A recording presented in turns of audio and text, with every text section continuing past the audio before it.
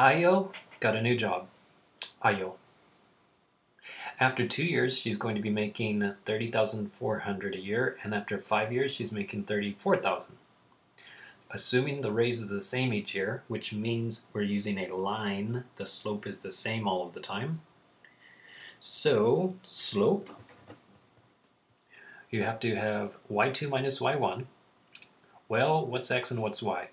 Well, there is a little hint right here that you're supposed to use x as years. But if it doesn't say, then x should be whatever comes first out of years and money. So does it does she get two years of experience first and then make 30,400 or does she make the 30,400 first and after she's done that then she has two years of experience well in my opinion this is going to be going first and this is what would be determined second so when we subtract y2 minus y1 that's going to be the dollars 30,400 minus 34,000.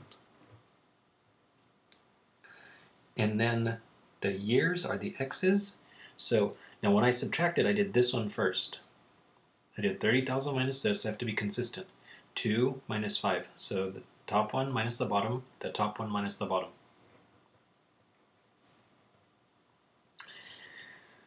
So that's going to be 3,600 negative over negative 3 or $1,200 is going to be the slope. So this is actually, if you label it, it's dollars for the top part and 2 minus 5 is years. So that's her raise, $1,200 per year, $100 a month raise. And then find the y-intercept. So if you then find the equation of the line, we could use y equals mx plus b, where the m is the slope, it goes right in front of the x. And in order to find out what b is, just take a pair of numbers, like the first pair that's given, substitute that in. x is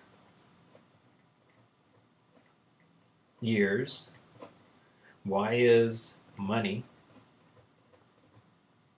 Oops. Now she's making some money. Now she's making serious bank. There we go. Okay, so this is 2400 plus B. This is $30,400 and then just subtract 2400 from both sides. Subtract 2400 from both sides. Nice. The 400s are going to cancel. At 30 minus 2 is 28 so 28,000 28,000 is the B and then explain what that represents well since the equation is y equals mx plus b, there we go. Since the equation is y equals mx plus b, what this says is if you substitute in a zero, then it's going to hit the y-axis at 28,000. Or, in other words, the y-intercept is the b, and then the slope is 1200. So that means the starting salary was 28,000 and then it's going up at $1,200 per year.